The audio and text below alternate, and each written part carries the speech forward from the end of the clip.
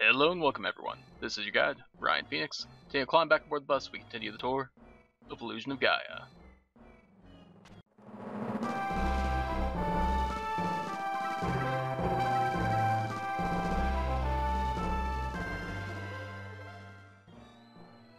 And welcome ladies and gentlemen to Gem's Mansion. That's right, last time we made our ways a decent bit of the Tower of Babel, the famed Tower of Babel, where our dear old dad disappeared so long ago. At least it seems so long ago. uh, did a bit of a boss rush, facing off against a few familiar faces from our past, and found the final red jewel of the game. And we managed to make our way back down to the town of Dao, or the village, or whatever word used to describe it. And we were transported after delivering the final jewel to this place, to Gem's mansion. So let's go ahead and make our way through this rather spooky looking mansion with the ghastly faces in the foreground there. And, you know, uh, not liking the looks of this, and not re really not liking the looks of the map here as we pull this up to see that we have 38 enemies up ahead of us. But we do have one treasure chest, sir, so it's not all bad, right? Right? Alright, well, Orlo will against 38 baddies. Let's go and it is uh, only Will that will be facing off here. We don't have we don't have any uh, means of transforming into the Dark Knight or into our more recently found form of Shadow. Uh, it's just just Will against against the odds here. So let's see how how we do. And you might recognize some of the enemies that we just took care of there.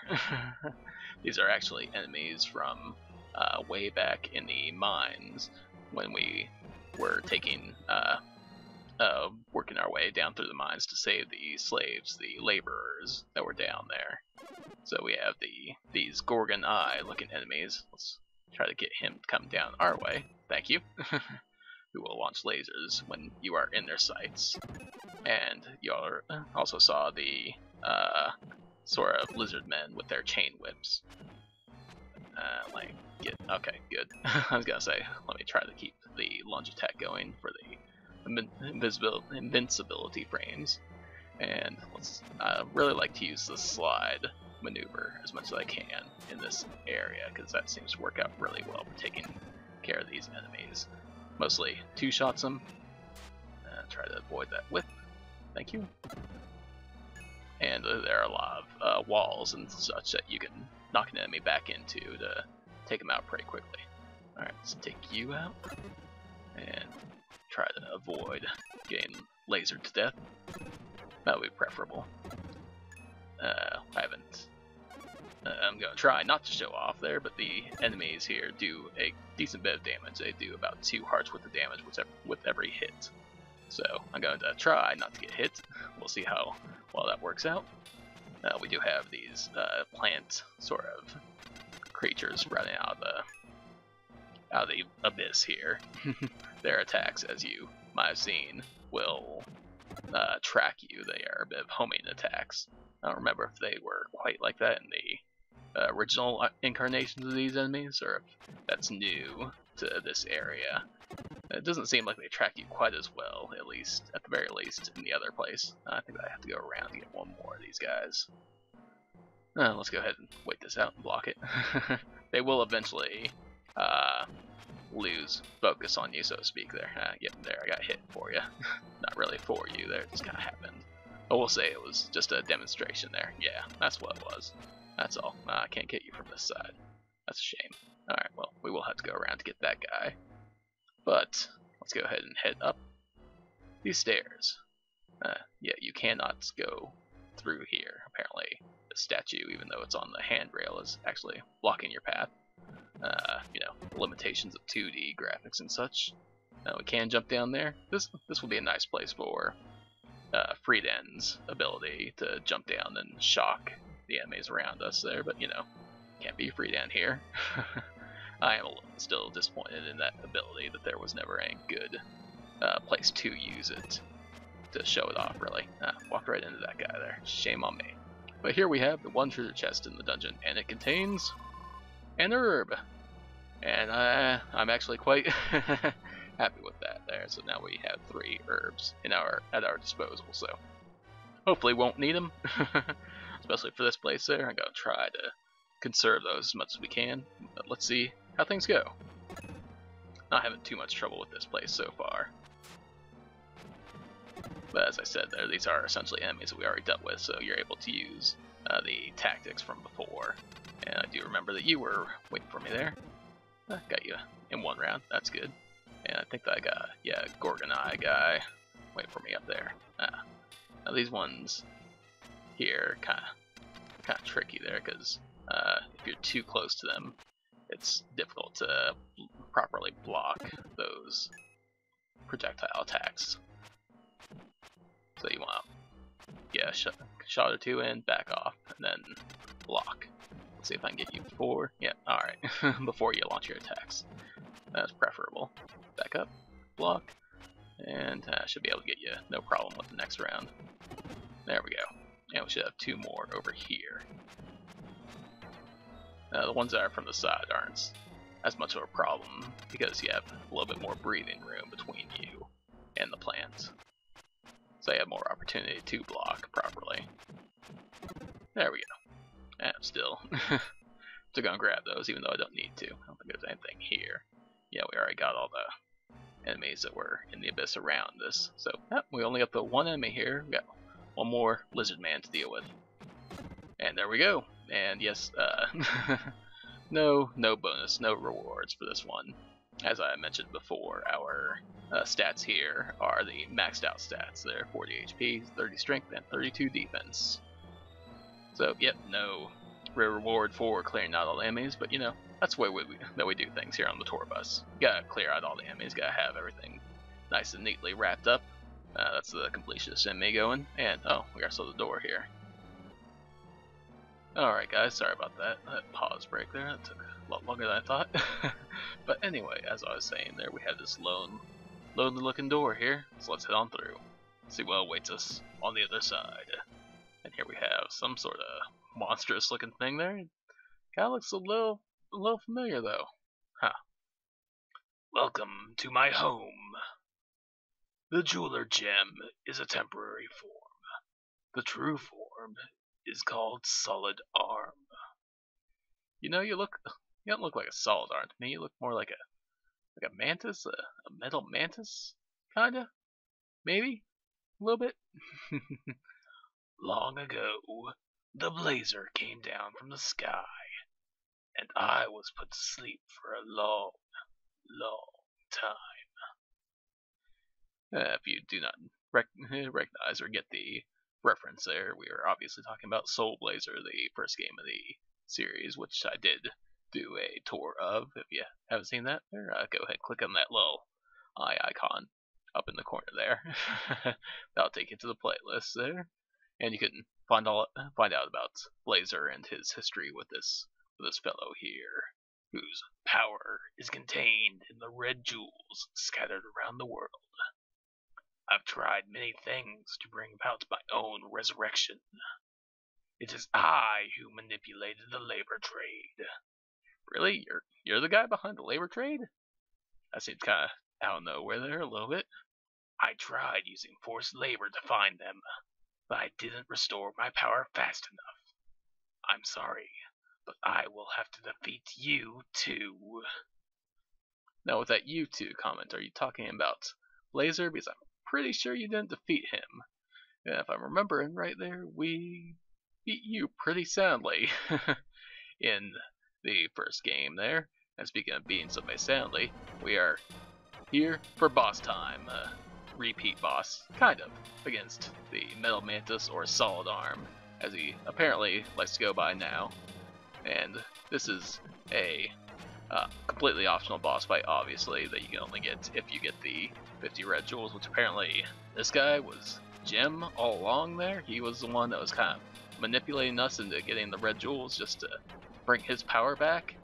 Uh, that seems pretty strange. Or it seems odd that they would take this boss of Soul Blazer to use such a backstory for. Like, the first boss there, he's the one that had his power uh, separated and uh, was needing resurrection there. Uh, well, I got completely out of my rhythm there for that thought, that line of thought there. so shame on me. As you can see here, uh, Solid Arm has a very similar setup to uh, Metal Mantis from the first game. He has these three conveyor belts. Uh, if you can tell that the middle one is going up towards Solid Arm, and the other two are pushing back towards our platform here. And you can see, as I'm doing here, we can actually hit Solid Arm from this lower platform. Uh, sometimes you get two hits in, sometimes you get one, and you can obviously block his projectiles, as I am doing here. he has these three projectiles, and they do track if you are not uh, blocking them right away, similar to the plant enemies from uh, the level previous. And uh, if you are at a diagonal to him, he will launch fireballs uh, at a diagonal, a single, one at a time, unlike these, which is three at a time. Oh, okay, take that pot shot at me at the end there. but uh, yes, so you could also go up on the upper platform and attack him from there. He will swipe at you with his arms, but when he swipes at you, he is temporarily invulnerable. He goes all metal on you, similar to uh, the metal enemies from Soul Blazer. You'll hear the kind of like dinging sound that means that no no damage is being taken. But yeah, so you can do as I did there, or you can uh, find your own way, however you want to handle this boss fight. Uh, I took quite a beating there, like I said there. I got out of rhythm. There, it is easy to get uh, st to step onto that middle conveyor belt and launch yourself up at Metal Mantis or, or Solid Arm. It able to easy to get sucked up there, but you know, you can either run to one of the other conveyor belts and make your way back down, or you can find them up there. It's up to you. However you want to handle that there. I think we handled it decently. could have gone better, but could have gone worse. Either way, we hear a quiet voice. Let's hear it. I was defeated again. Blazer was strong, but you are stronger. Danger approaches this planet. You should hurry to the Tower of Babel. And with that, we have defeated the optional dungeon here, and we're uh, brought right back to the tower there. That's pretty darn convenient there, so thank you for that. Uh, solid arm there, I appreciate the convenience. Not even go to Dao and then make our way back here. And we ourselves our dark space here, so I am definitely going to go ahead and take the opportunity to talk to Gaia, get ourselves healed up, and the comet draws near. The time for your last battle approaches. This is the last time I will talk to you like this, in this place. Now, we already read this before, but you know, let's go ahead and continue with your rejuvenate power, defeat the comet, Dark Gaia, and become the Dark Knight. Shadow's greatest power, the Firebird, or the Phoenix from the first game, will arise when you are one with the Light Knight. So we still have to figure out who this Light Knight is. So let's go ahead and record. Finish recording, continue our journey, then go. Go forth. After defeating that optional dungeon there, we can move onward and upward in the Tower of Babel. With Kara still at our side there. Uh, glad that you're still sticking around with us, Kara. Alright, another door. Ooh.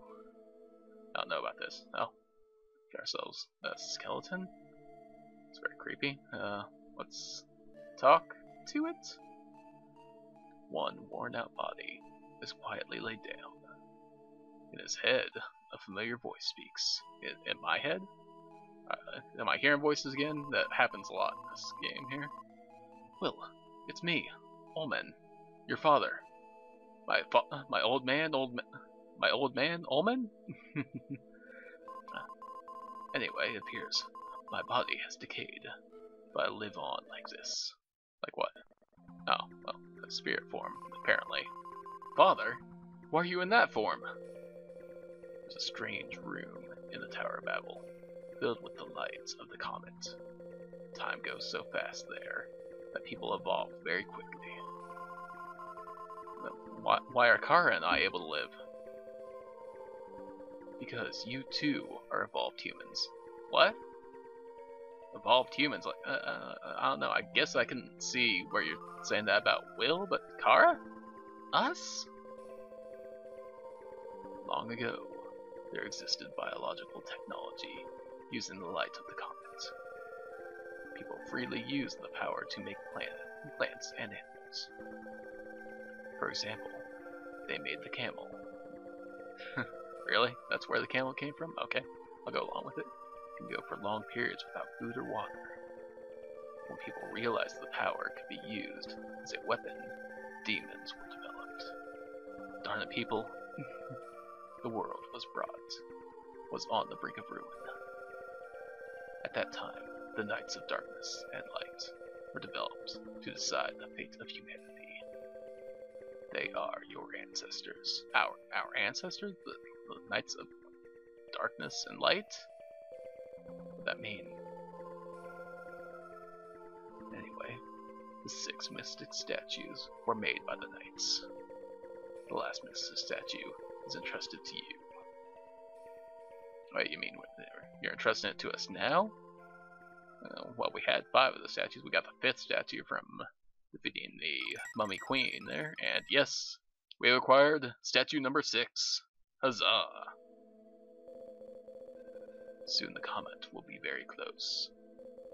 By then, the two of you must go to the roof of the tower. Close your eyes. And that is where we're going to wrap up this episode of Let's Tour Illusion of Gaia. So I hope that you guys have enjoyed your time on the bus. I hope that you guys tune in next time for the finale of Let's Tour Illusion of Gaia. To the next video, guys, thank you so much for watching. I really appreciate it. And any comments, likes, and so on down below, I appreciate even more. And I'll see you in the next one. Till then, stay gold, my friends.